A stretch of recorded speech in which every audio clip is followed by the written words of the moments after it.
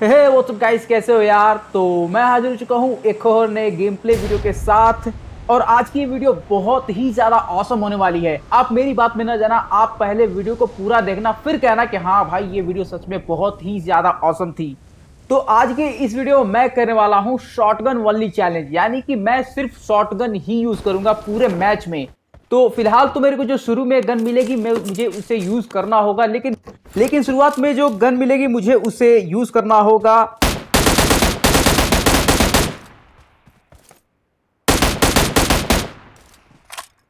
और जैसे ही मुझे शॉर्ट गन मिल जाएगी, मैं एक्सचेंज कर लूँगा। तो फ़िलहाल जैसे ही मैं उतरा, मेरे हाथ में लगी M16 और मैं तुरंत बाहर आया ताकि कोई बंदा अगर दिख जाए तो मैं उसे निहत्था मार दूँ। तो ये जो बंदा था, मेरे को दिख गया सामने अकेले बिना गन्स के। तो मैंने इसको मार दिया और इसके बाद से मैं शॉटगन खोने लगता हूँ। बट फ़िलहाल तो अभी मेरे को नहीं मिलता, लेकिन आगे मिल जाएगा मेरे को शॉटगन तो इसका जो एक बंदा था, इस टीम का जो एक बंदा था, वो अभी क्रॉस करता है मेरे को मारने के लिए क्योंकि उसके टीम को मार मैंने उसके टीममेट को मैंने मारा तो फिर वो भी फुल एग्रेशन में आया इधर मेरे को मारने के लिए। लेकिन पीछे से एक बॉट आता है, पर मैं बॉट को नहीं मारता हूँ, मैं उस बॉट को बेट करता हूँ। एज अ बेट यूज़ करना चाहता था, लेकिन इस बॉट को कोई और ही मार देता है। सामने वाला जो खिड़की में जो बंदा था, उस बंदे ने इसको मार दिया तो मैं उस पर कुछ देर तक एम करके बैठा रहा कि अगर वो पिक करता तो मैं उसको मार दूँगा। लेकिन उसने पिक नहीं किया। तो उस बंदे को मैं इग्नोर कर देता हूँ और इस बंदे के पास मैं आ जाता हूँ जिसने मेरे पे पुश किया है। तो मैं इस बंदे को एक बेट करता हूँ। पता है कौन सा बेट पिस्टल बेट यानी कि मैं उसको ये दिखाता हूँ कि मेरे पास सिर्फ़ एक पिस्टल है। और फिर देखो, बंदे को लगा कि सिर्फ़ मेरे पास एक पिस्टल है तो फिर वो आ गया चढ़ के मारने के लिए और उसे फिर से हमने M16 से निपटा दिया। और फिर इसके बाद से इसी बिल्डिंग में मुझे मिल जाती है एक शॉटगन S686 डबल बैरल वाली। तो फिर मैं इधर आ जाता हूँ रोड क्रॉस करके, और सामने वाली बिल्डिंग में एक बंदा था जो कि टीपीपी ले रहा था तो मैंने उस पर नेट करने की ट्राई की बट नेट तो एकदम बिल्कुल सही जगह पे नहीं जा पाया, लेकिन मेरे पीछे से एक फुटस्टेप आती है एक बंदे की।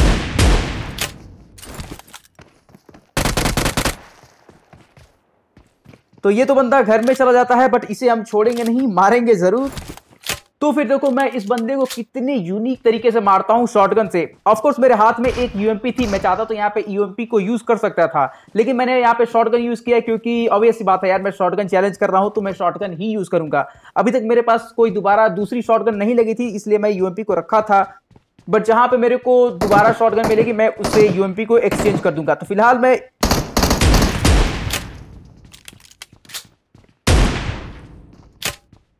और इस बंदे को क्या ही औसम तरीके से मारा। और इस बंदे को मारने के बाद इसका दूसरा टीममेट भी मेरे बगल वाली बिल्डिंग में आ जाता है तो फिर देखो उसको भी कैसे मारते हैं।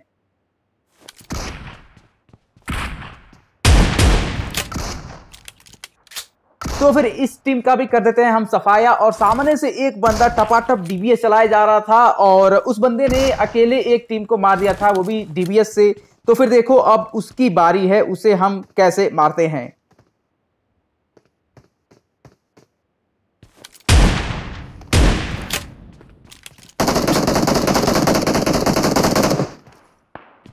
खैर, वहाँ से तो बंदा बच जाता है, लेकिन वो आके इस बिल्डिंग के सेकंड फ्लोर पे जस्ट सीढ़ियों पे ही कैंप कर रहा होता है। अब यहाँ पे मेरे लिए पुश करना बहुत ही ज़्यादा रिस्की था, क्योंकि अगर मैं सीढ़ियों से जाऊँगा तो वो इजिली मेरे को मार देगा। अब याद रखना, इस स्कारल वाले को, इसको मैं बहुत ही अच्छी मौत दूँगा। पर फ़िलहाल मैं यहाँ पे थोड़ा बहुत रिस्क लेके ऊपर जाने की कोशिश करता हूँ, लेकिन बंदा जो था बिल्कुल सीढ़ियों पे ही कैंप कर रहा था तो फिर ऊपर जाना मेरे लिए बहुत ही ज़्यादा रिस्की था। इसलिए मैं उसके सामने से तो बिल्कुल भी ऊपर नहीं जाना चाहता था बट फ़िलहाल यहाँ पे एक बॉट आता है।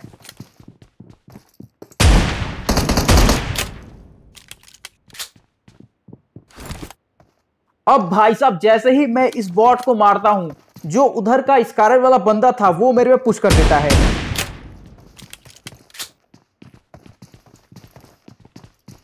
तो फिर देखो, इसको मैं कितने औसम तरीके से मारता हूँ।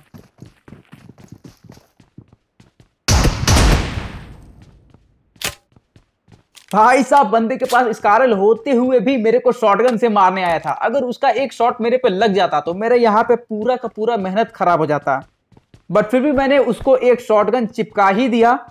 और अब इस बंदे की बारी है जो मेरे ऊपर है। तो फिर अब इस बंदे को मारने के लिए मैं यहाँ पे 300 हंड्रेड यूज़ करने वाला हूँ। देखो, इस, इसको मारने के लिए मैंने क्या किया? यहाँ पे आया और सिंपली इस जो फेंस है, इस पे मैं चढ़ा और उसके बाद से सामने वाला जो ट्रैक का छत है, उस पर मैं चढ़ गया। और अब देखो यहाँ पे क्या होने वाला है।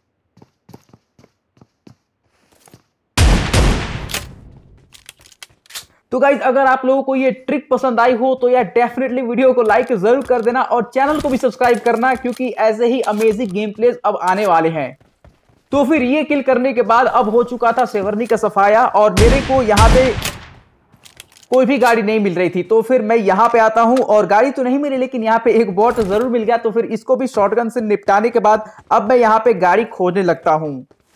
तो फिर बहुत लंबी मैराथन रेस लगाने के बाद मेरे को एक फाइनली बग्गी मिल गई और ओपन में आने से मेरी इतनी फट रही थी कि अगर किसी बंदे ने मेरे को स्पॉट कर लिया तो फिर मेरी वहाँ पे मौत कंफर्म थी बट मैं बच गया भाई, कोई किसी ने मेरे को स्पॉट नहीं किया। शॉटगन की चैलेंज यही सबसे बड़ी दिक्कत है कि अगर आपको किसी ने ओपन में स्पॉट कर लिया तो फिर आपका मरना बिल्कुल तय ही है। तो फिर अगर आप शॉटगन चैलेंज कर रहे हो तो फिर एक बात का हमेशा ध्यान रखो कि आप अपने आप को कभी भी ओपन में ना स्पॉट करवाओ। ओपन में नहीं जाओ तो सबसे बढ़िया है।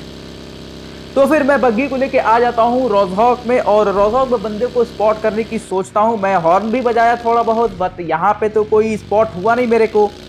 तो फिर मैं आगे जाता हूँ ड्रॉप पे, क्योंकि ड्रॉप था तो वहाँ पे ऑब्वियसली बात है, बंदे तो कुछ ना कुछ आए ही होंगे। अब यहाँ पे ड्रॉप पे एक बहुत ही अमेजिंग सा सीन होने वाला है। यहाँ पे मैं एक बंदे को 300 आईक्यू से मारूँगा, देखना ज़रूर। तो फिर यहाँ पे मैं ड्रॉप के लोकेशन पे आता हूँ तो बहुत सारी क्रेट्स पड़ी रही होती हैं, इसका मतलब ये कि यहाँ पे फाइट तो गजब की हुई होगी, लेकिन कोई बंदा मेरे को यहाँ पे स्पॉट नहीं होता है, लेकिन पीछे से फायर आता है और मेरे को फुटस्टेप भी आ जाते हैं। तो यहाँ पे एक M249 वाले बंदे ने पूरे एक टीम को वाइप कर दिया था और अब वो मेरे पे पुश करने वाला था। तो फिर बंदा धीरे धीरे मेरे पे क्लोजिंग करता है और मैं एक तब तक नेट तान के बैठा रहता हूँ, लेकिन नेट तो जो था वो मिस हो जाता है। लेकिन देखो यहाँ पे बंदे को मैं 300 आईक्यू से कैसे उसको डैमेज देता हूँ?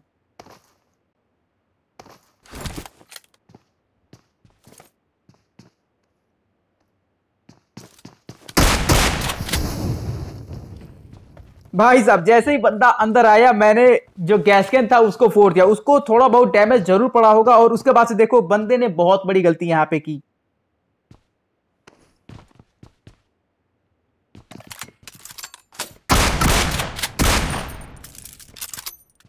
भाई साहब, बंदे ने पता नहीं कौन सा भाँग फूक के रखा था। मेरे सामने आके M249 रिलोड कर रहा है। अगर बंदा यहाँ पे M249 रिलोड नहीं कर रहा होता तो फिर वो मेरे को मार सकता था। बट कोई नहीं पैनिक सिचुएशन में ऐसी गलतियाँ होती रहती हैं। तो फिर भाई साहब, लगभग पाँच से सात मिनट तक खोजने के बाद मुझे कोई भी बंदा कहीं भी स्पॉट नहीं हुआ। इतने बड़े से सर्कल में सिर्फ़ पाँच बंदे अलाइव रह गए थे। तो फिर उसके बाद से एक ड्रॉप यहाँ पे सामने गिर रहा होता है तो फिर मैं यहाँ पे आ जाता हूँ ताकि कोई अगर बंदे बंदे आए तो हम उसको अपनी तरफ़ बुला के मार सके। क्योंकि ऑब्वियसली बात है यार लॉन्ग रेंज से तो फाइट ले नहीं सकते। तो फिर बंदों को ही अपने पे पुश करने देना होगा। तो फिर इसीलिए मैं यहाँ पे आ जाता हूँ ड्रॉप के पास ताकि अगर कोई बंदा आए तो मैं उसको थोड़ा बहुत उंगली करूँ और वो मेरे पे पुश करे।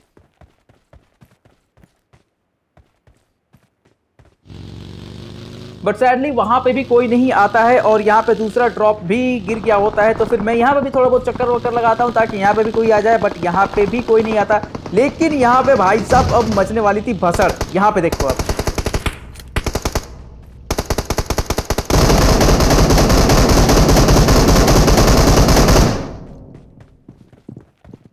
यहाँ पर एक टीम ने दूसरे टीम को मार दिया था और उस टीम वालों के पास थी ग्रोजा। और ग्रोजा का आवाज़ सुनते ही मेरे हाथों से पसीने आने लगे थे, मेरे अब कंट्रोल्स काम नहीं कर रहे थे। भाई ग्रोजा के सामने मैं शॉटगन से कैसे मारूँगा उसको? बट फिर भी मैं यहाँ पे घुस जाता हूँ और क्योंकि मैं जानता था कि उन लोगों ने एक टीम को मारा है तो फिर ऑब्वियसली बात है यार, वो बिल्कुल कॉन्फिडेंट तो होंगे ही और वो मेरे पे पुश ज़रूर करेंगे। एंड उनके हाथ में ग्रोजा भी थी तो फिर उनके पास एडवांटेज था। तो मैं बिल्कुल श्योर था कि वो मेरे पुश करेंगे। बस मेरे को यहाँ पे डिफेंसिव खेलना होगा। टीपीपी का फुल यूज़ करना होगा। यहाँ पे मेरी ये स्ट्रेटेजी थी। अब देखो यहाँ पे क्या होता है।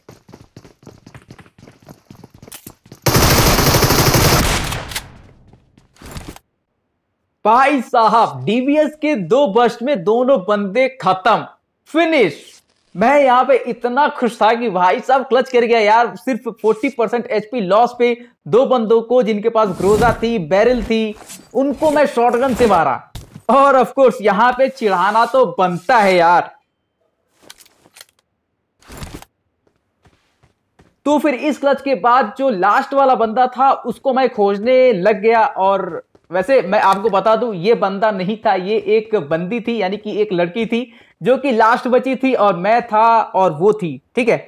तो फिर अब मेरे पास यहाँ पे एक छत था हाई ग्राउंड था तो फिर मैं उसको यहीं से स्पॉट करने की कोशिश कर रहा था। लेकिन यहाँ पे मेरे को कोई भी कहीं भी स्पॉट नहीं होता तो फिर मैं क्या करता हूँ? फोरेक्स वगैरह उठा लेता हूँ ताकि मैं जूम वगैरह करके भी देख सकूँ। तो फिर यहाँ तो मेरे को बंदा स्पॉट नहीं होता है, लेकिन यहाँ पे अब आवाज़ सुनो। भाई साहब, बंदी के पास बंदी के पास एम के फोर्टीन था। मतलब समझ रहे हो, मेरे पास शॉटगन और उसके पास एम के फोर्टीन अभी मैं एक ग्रोजा वाले से भिड़ के आ रहा हूँ। अब मेरे को सामना करना पड़ेगा एम के फोर्टीन वाले से। तो फिर क्योंकि अब जोन आ गया था तो फिर मेरे को जोन में भी जाना था। तो जैसे ही मैं जोन में जाता हूँ, भाई बंदी मेरे पे बहुत ही गंदा फायर करती है एम के फोर्टीन से। वो तो कहो कि मैं मूविंग कर रहा होता हूँ तो मैं बच जाता हूँ। वैसे मेरे को अभी तक नहीं पता था कि ये बंदा था कि बंदी थी। मैं बस इसको एक एनिमी ही समझ रहा था। लेकिन जब मैंने इसको मारा ना तब जाके मेरे को पता चला कि हाँ ये एक बंदी थी।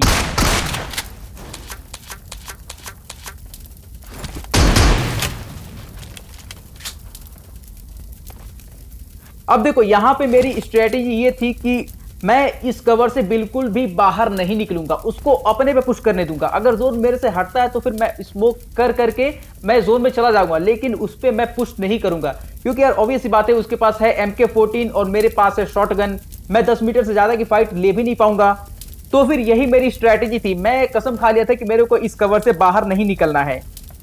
तो फिर यहाँ पे मैं जंप कर करके उसको स्पॉट करने की कोशिश कर रहा था और अपने लेफ़्ट साइड में भी स्मोक कर लिया था ताकि वो उधर से फ्लैंक करके, साफ़ बन के फ्लैंक करके इधर की तरफ़ ना आ जाए। तो फिर अब जो जोन था वो बिल्कुल ही माइक्रो जोन था, बिल्कुल ही छोटा सा जोन था। यानी कि अब इसके बाद से जो जोन आता ना, वो पूरा जोन खत्म हो जाता। मैं तो यहाँ पे सोच लिया था कि मैं हील बैटल ही करूँगा, क्योंकि मैं एम के फोर्टीन के सामने तो मैं नहीं जाने वाला। मैं ऐसे ही शॉटगन के कुछ रैंडम शॉट्स देता हूँ, ताकि कहीं पे अगर मेरे को हिट मारकर आए तो फिर मैं वहाँ पे दोबारा शॉट लूँ। और उसके बाद से मैं एक रैंडम नेट भी ट्राई करता हूँ, क्योंकि मेरे को लग रहा था कि जो बंदा है, वो उसी डायरेक्शन में है तो फिर मैं उस तरफ़ एक नेट करता हूँ। बट ये भी कोई काम में नहीं आता है। तो फिर मैं उसकी लोकेशन जानने के लिए अपने कवर से थोड़ा बाहर निकलता हूँ ताकि वो मेरे पे फायर करे और मेरे को उसकी लोकेशन का कुछ पता चले। तो बंदा ऐसा करता भी है, वो मेरे पे फायर करता है और मुझे उसकी लोकेशन कुछ पता चल जाती है वो मेरे को सामने दिख जाता है रिंगते हुए। तो फिर मैं उसके पे एक नेट ट्राई करता हूँ, बिल्कुल आई बॉल वाला नेट ट्राई करता हूँ और बिल्कुल उसके मुँह के पास जाके फटता है वो नेट बट वो बच जाता है।